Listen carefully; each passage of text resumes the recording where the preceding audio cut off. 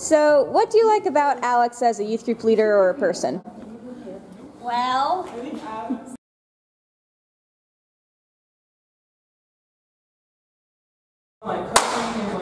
Who's Alex? Do you know who this is? I don't know who Alex is.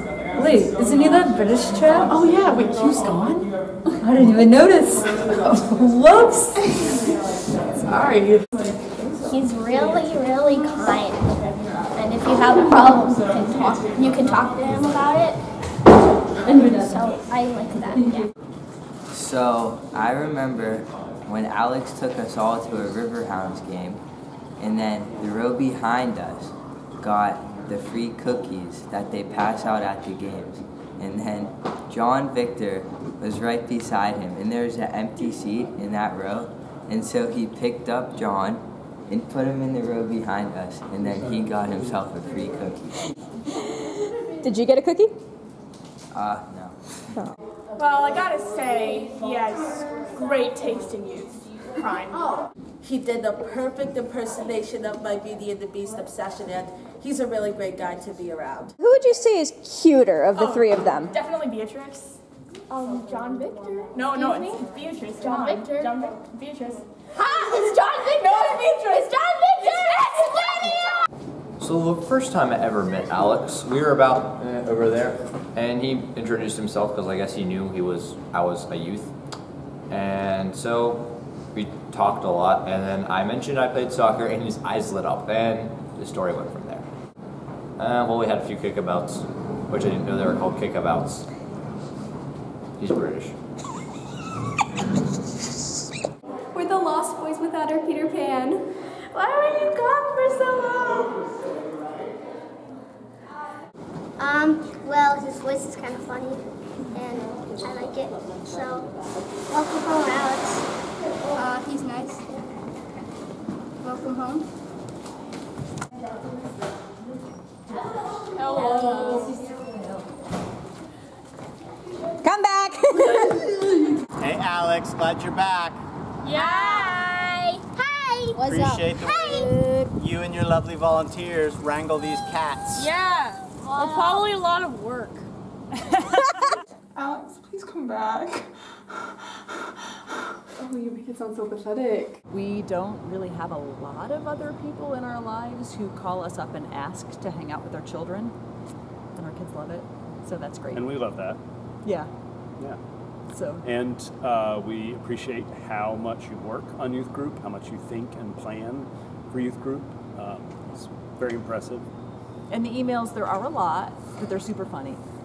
I They're- really. I, I don't know. I, them. I stopped reading them in November. no, yeah, I, I read them. It's good.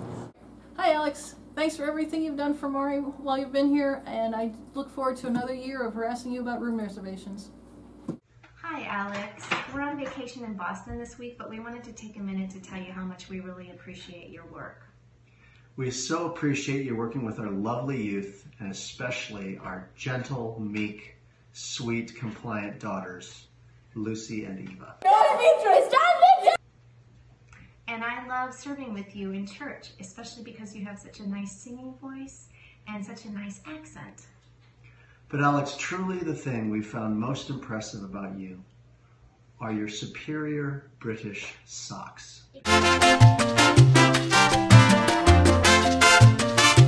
He's got this really nice, warm personality. He's got lovely hair and a delightful bit of English snark. Yeah. I just love the way he loves the teenagers. I do too. It's amazing. Cool. He's amazing. One of my best friends. Um, I've had so many amazing conversations in their kitchen about life, about love, about God. Like, I really feel closer to God just by having her in my life. Wow. I didn't know you felt that way about Alex. Ew. Uh, Alex. Isn't this, isn't this about Jane? I'm, I'm confused. Does he work with us? Alex, great to have you back. As you can see from the kids, uh, everything has gone well in your absence, which I have to say is a great testimony not only to Danielle and Katie and all the volunteers, um, but to you. You've set this program up and it's running, and you've got Kelsey and the team. Well done. It is great to have you back, and we hope you had a fabulous time in England. I am so glad that you are on this team. Thank you, Alex. I actually think the program's been run fantastically this summer. I really think eliminating the full-time position and just handing it off to a series of interns and volunteers has been going incredibly smoothly. I think it's going to be great for the budget, and I'm really looking forward to continuing this into the fall. Um, Harry, this is for Alex's welcome back thing. He's coming back Thursday. He's coming back? Alex, Alex, welcome back to another year at Hogwarts. We hope you've had a great time out there with all the muggles back in England.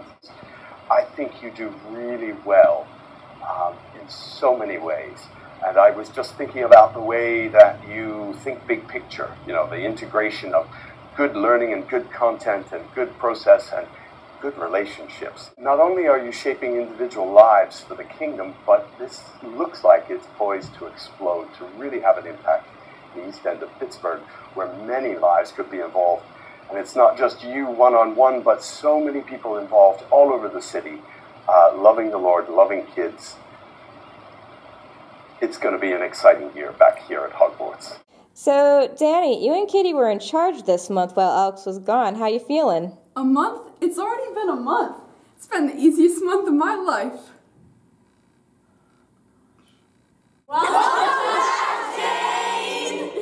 Alex. Uh -oh. Come back, Alex!